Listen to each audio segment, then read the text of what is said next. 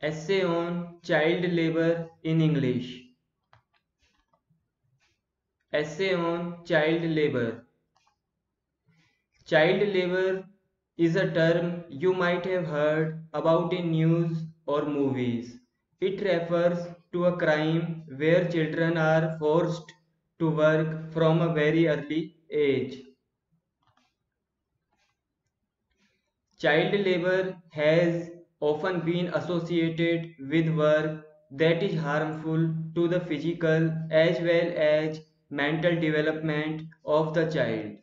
Unfortunately, the most number of child labor cases in the world are reported from India every year. Lack of social security, hunger and poverty are the fundamental drivers of child labor. Children are a gift and blessing to a family. They deserve the unconditional love and care of the parents. It is inhuman to take advantage of their innocence and helplessness. However, in India, a lot of children are being subjected to child labor, probably due to lack of awareness. They are deprived of a happy and normal childhood.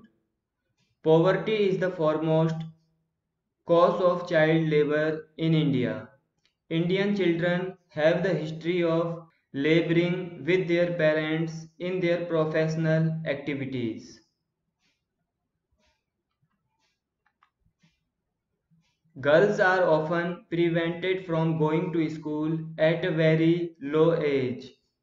They are made to help in the field work and the house chores as well. The story is not much different from the boys too. They quit school in order to take up some labor work in factories and farms and help their father in breadwinning. The government is working close with social agencies and common public to solve the issues of child labor. Child labor is also the need of poor people living below the poverty line who fail to manage two times food for them, send their kids and children to do some job even at very low cost. Such activities should be blocked urgently by the government by supporting the poor people. Thanks for watching. Remember to subscribe.